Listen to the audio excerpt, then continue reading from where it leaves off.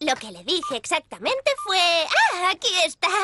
Profesor Orión, tengo a tu hija. Si quieres volver a verla, tienes que venir tú solo al bosque. Si llamas a la policía, no la volverás a ver. ¡Eso es!